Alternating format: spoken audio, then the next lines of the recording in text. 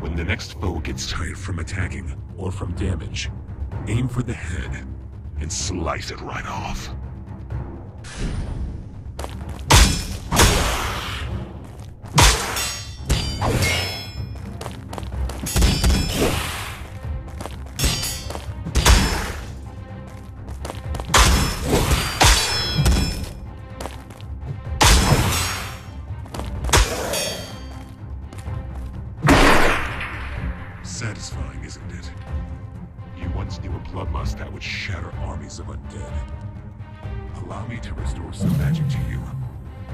Grab a hold of this book, and consume the knowledge and cast a fireball.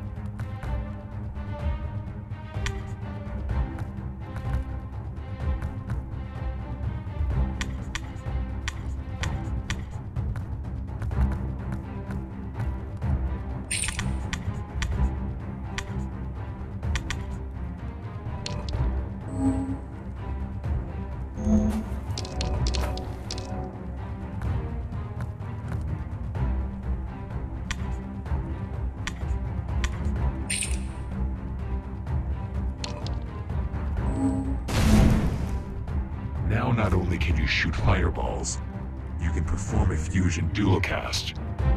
Cast a spell in each hand, and combine them together in the middle to form something new. Something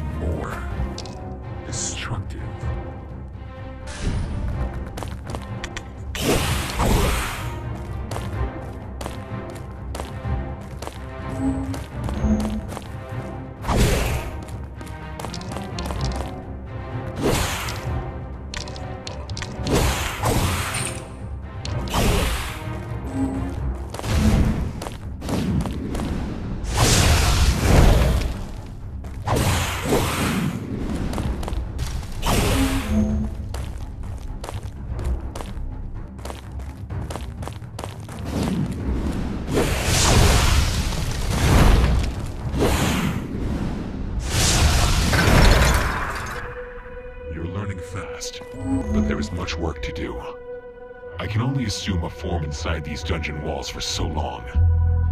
Meet me in Mist Chamber, a safe haven not far from here. You'll know how to get there. Just follow the path onward. I'll be seeing you.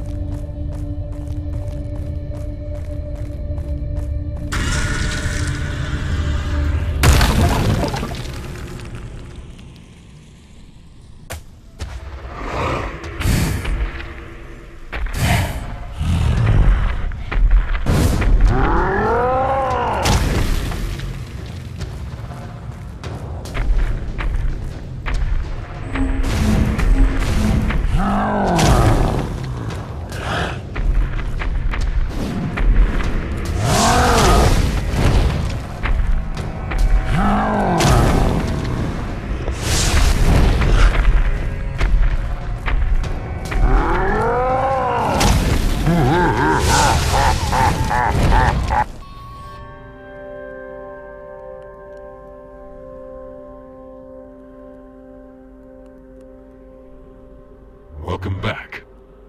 I imagine that death was quite the shock. What you encountered down there was Galarth, the Hall Dweller. A foe beyond your abilities right now. Your connection to the living is permanent in my presence. I can bring you back if you are killed. We can use this to our advantage and get you trained through experience until you're ready to face Galarth. He is a gatekeeper, and stands in the way of escaping these halls into the outside world. So you're going to have to face him at some point. The key to all of this is right here. What you're looking at isn't just any artifact. It's a dungeon soul. You can think of it as the will of the dungeon, containing absolute power and knowledge. From here you can increase your abilities and traits. But that is not its only purpose. As you venture deep into the nearby dungeons, you will find more dungeon souls. I want you to absorb them for me. Your revival has tied us together, so this central dungeon soul shall grow more powerful, and in turn weaken Glarth. When you are ready to face him, you can find the entrance to his lair atop the stairs. I recommend you get stronger before that. Make use of everything this Mistchamber has to offer. Take a look around for weapons and spells and training dummies. The path begins now, Valiant Returner.